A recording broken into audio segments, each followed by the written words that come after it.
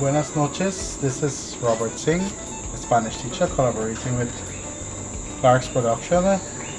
We have just finished one of our Spanish courses, so we're about to do a little role playing just to practice the Spanish a little. The scenario is a guy coming in and meeting a young lady, asking for her number, offering to take her out. You tell us which one is correct.